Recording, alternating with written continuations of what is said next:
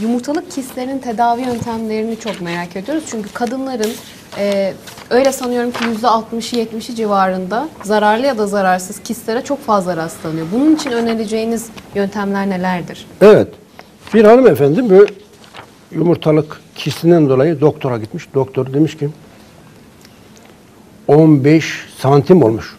Ama üniversitede okuduğu için vakit bulamamış. Sürekli ertelemiş, sürekli ertelemiş, sürekli. Ama adet onarmalıkları, adet düzensizlikleri vesaire artık yoğunlaşıp da kötü duruma düşünce mecburen gitmiş. Doktoru demiş ki o ya iyi huylu değil. E ne olacak?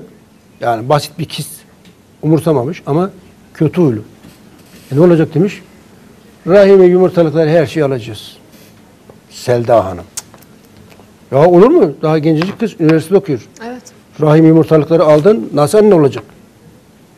Bitti gitti hayatı. Oturmuş birkaç gün üzülmüş, ağlamış vesaire. Sonra internetten araştırmış. Ben aradı dedi ki gerçekten bu kist eriyebilir mi? Ya çok büyük. Ben de bilmiyorum yani. İlla garanti ederim. Şöyle iyileştir, böyle işte değil mi? Tabii. Deneyeceğiz, bakacağız, göreceğiz. Tamam dedi. Ee, kanserli hücre sayısı 5230 iken 3 ay kullandı.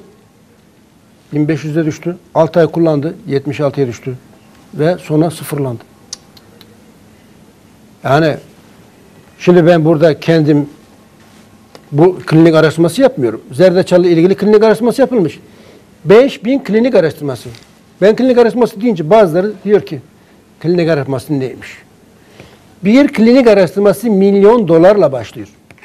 Bunu Avrupa'da, Amerika'da, Kore'de, Japonya'da, İsrail'de, Çin'de, Hindistan'da devlet sübvanse ediyor. Milyon dolar veriyor. Projesi olana diyor ki benim şöyle bir projem var, çalışmam var. Devlet diyor ki yap, para bizden.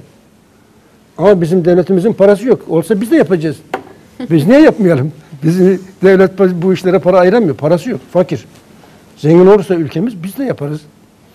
Bana üç üniversiteden teklif geldi. Klinik araştırması yapalım. Yapalım dedim. Benim bu kadar ürünüm var. Hepsiyle ilgili klinik araştırması yapalım. Paraya gelince takıldık kaldık. Para yok. Bu milyon dolarlık iş. Klinik araştırması. Mesela 100 hasta üzerine deneyeceksiniz. Bu 100 hastayı 3 ay takip edeceksiniz. 4 ay gerekirse bazen 5 ay takip edeceksiniz. Hastanede bir gün bir kişinin bir, bir gün kalmasının maliyeti binlerle başlıyor. Yani bu çok külfetli bir iş.